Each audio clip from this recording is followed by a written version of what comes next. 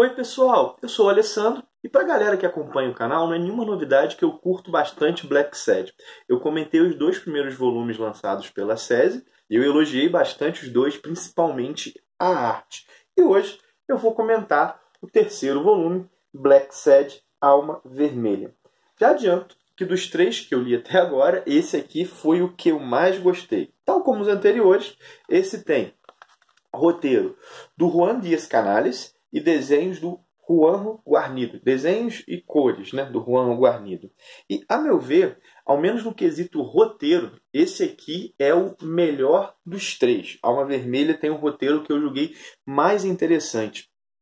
Porque esse roteiro ele é o que amarra mais elementos do contexto histórico no qual a história é inserida. A arte continua espetacular. Deixa eu mostrar um pouquinho para vocês. Né? A, a arte do Juan Guarnido. Não tem nem muito o que dizer disso aqui, né? Só olhar e admirar. São quadros lindos, assim. O cara realmente manda muito bem. Assim, não consigo, em termos de arte, nem dizer qual que é o meu preferido.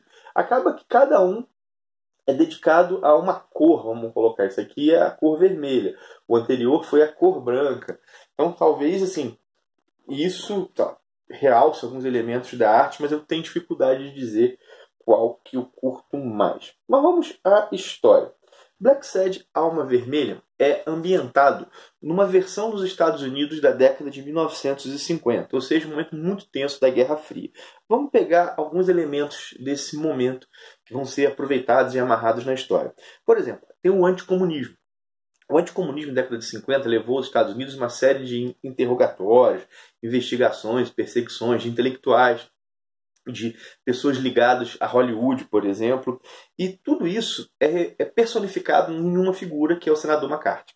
E em Black Sad, esse senador McCarthy ganha uma versão que é o senador Galo. Deixa eu ver se eu encontro aqui o senador Galo para mostrar para vocês. Ele é claramente inspirado no McCarthy, assim. Olha só, tá aqui o senador Galo. O seguinte, mas não é esse o único elemento que aparece na história. Por exemplo, essa época é uma época de histeria, de terror em relação à, à guerra atômica. Né? Se tinha medo de que Estados Unidos e Rússia entrassem em guerra e isso levasse ao fim do mundo, porque o arsenal atômico que esses países tinham era uma coisa que podia acabar com toda a Terra. Acontece aqui também que nessa história que o mundo acabou de sair de uma guerra mundial e de uma segunda guerra mundial que levou à morte ao nível industrial com os campos de concentração. Os males do local estão muito vivos na memória da década de 50. E Alma Vermelha, essa história aqui, ela amarra tudo isso com um roteiro muito bacana, uma história que é realmente instigante. É a história na qual o Black Sad, esse gato aqui, ele se envolve com os acontecimentos políticos mais grandiosos. Tudo começa com ele indo assistir uma palestra sobre energia atômica. Deixa eu pegar ele indo para a palestra para mostrar para vocês aqui. Tá ele aqui no assistindo no evento sobre energia atômica. E esse o palestrante é um famoso físico que na sua juventude, junto com o pai dele que era um pastor, fez um trabalho social no bairro pobre onde o Black Sad morava e estabeleceu um certo contato com ele. Inclusive ele chama o Black Sad de o garoto esperto. E, bom, o Black, esse intelectual hoje, ele faz parte de um grupo de dois intelectuais de esquerda físico que são sustentados por um milionário. E acontece que o Black Sad, ele é contratado por uma, pela mulher, né, pela escritora que faz parte desse grupo de intelectuais, quando um desses dois intelectuais é assassinado. E o Black Sad é contratado para descobrir o assassino.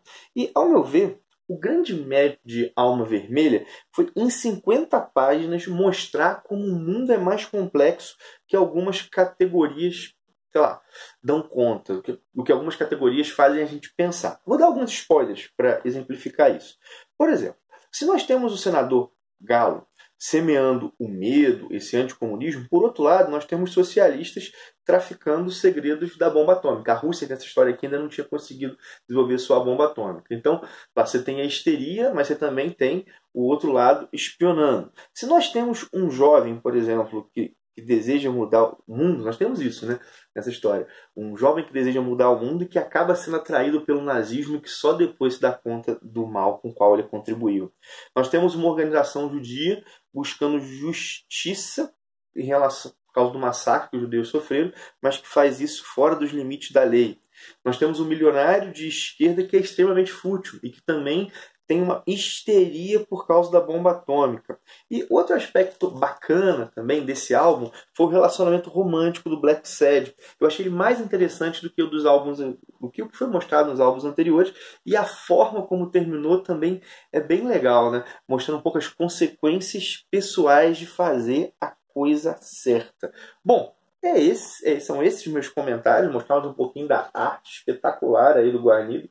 E eu fico na esperança de que esse ano nós tenhamos ainda mais, ao, mais um volume, pelo menos. Né? A SESI já colocou aqui no, no final os próximos. Né?